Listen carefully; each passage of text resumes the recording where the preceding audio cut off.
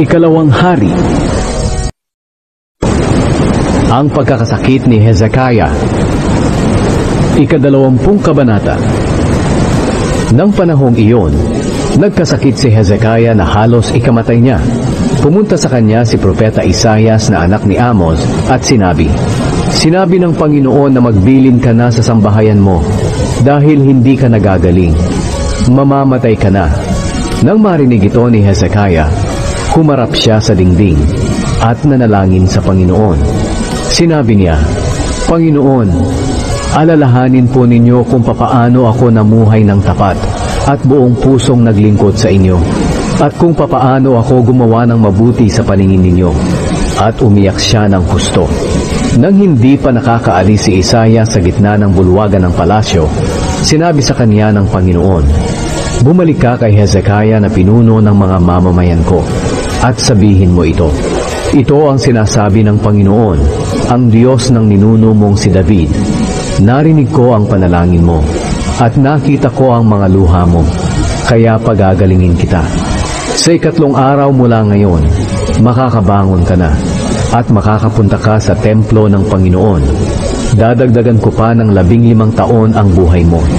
Ililigtas kita at ang lungsod na ito sa kamay ng hari ng Assyria. Iingatan ko ang lungsod na ito para sa karangalan ko at dahil kay David na aking lingkod.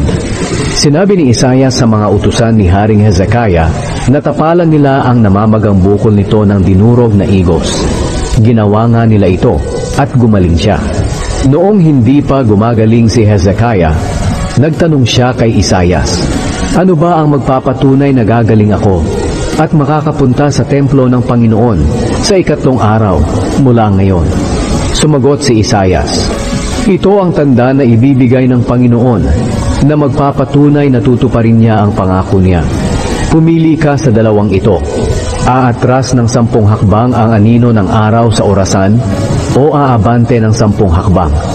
Sumagot si Hezekiah, Mas madaling umabante ng sampung hakbang ang anino, kaya paatrasin mo na lang ito ng sampung hakbang. Kaya nanalangin si Isaiah sa Panginoon at pinaatras ng Panginoon ng sampung hakbang ang anino ng araw sa orasan na ipinagawa ni Ahaz.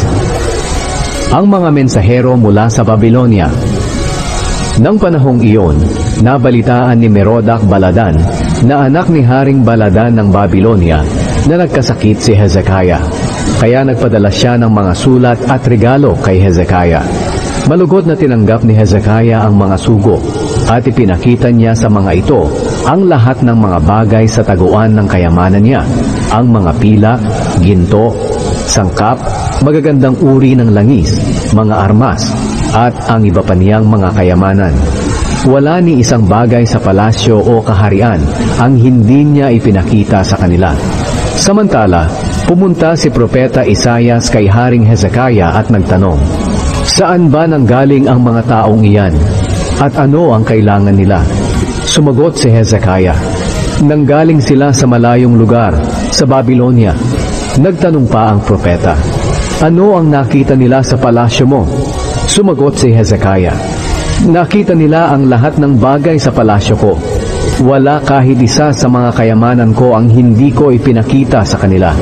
Pagkatapos sinabi ni Isayas kay Hezekiah, Pakinggan mo ang mensahe ng Panginoon.